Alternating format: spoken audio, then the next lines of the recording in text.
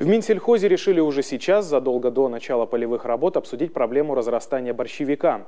По словам министра Князева, все потому, что зима – самое время подумать и спланировать действия. Совсем скоро муниципалитеты будут принимать бюджеты на следующий год, где должны быть заложены средства и на уничтожение сорного растения. Впрочем, нам не менее важно выбрать эффективный способ борьбы с вредителем. Константин Куратов продолжит.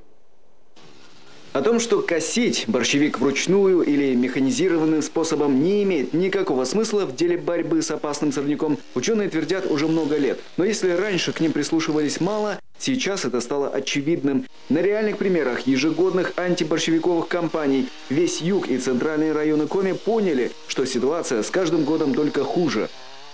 Борщевик становится некой нашей визитной карточкой, когда гости приезжает к нам на всех видах транспорта, включая самолеты. В народе уже есть а, поговорка, что борщевик – это коми укроп. Поэтому тут есть а, тема для работы и для наших транспортников, где обслуживаются, обслуживают дороги и наши аэропорты. Если на сегодня не предпринимать никаких шагов по уменьшению и ликвидации данного сорняка, то лет через пять э, будем утопать все борщевики.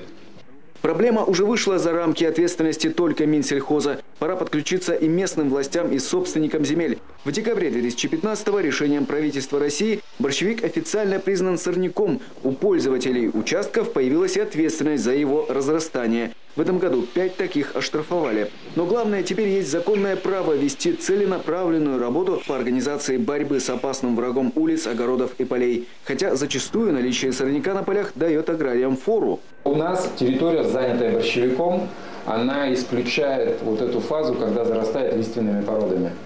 И то есть а, ель очень медленно начинает возвращаться на отвоеванную когда-то у нее территорию, поэтому борщевик вот эти территории консервирует до тех пор, когда у человека не дойдут руки использовать эту территорию.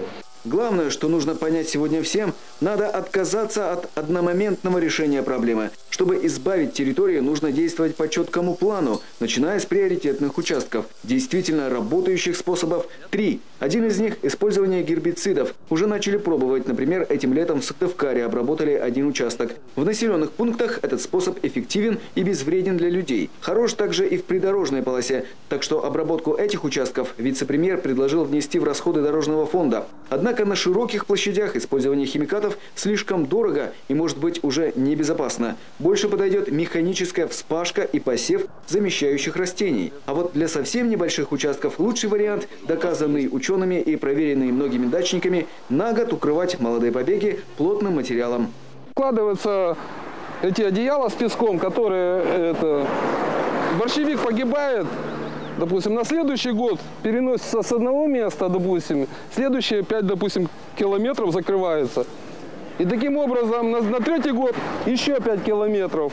Ученые Коми готовы помочь спланировать стратегию, выбрать приоритетные участки, с которых необходимо начать борьбу, и эффективные способы для каждого отдельного населенного пункта и ландшафта. Например, такие программы они уже подготовили для села Летка Прилузского района, Сыктывдинского Зеленца, работают по Сыктывкару. Для начала хотя бы прорезать шестиметровые буферные зоны, освобожденные от сорняка. Их он перепрыгнуть уже не может. Главное, программу нельзя останавливать, и надо подготовиться на беспрерывную работу в течение нескольких лет и участок за участком отвоевывать территории. Понятно, что для скудных бюджетов сел и поселков это может стать непосильным бременем, поэтому муниципалы и аграрии считают, для финансирования работы нужна новая республиканская госпрограмма. Константин Куратов, Олег Костромин, телеканал Юрган.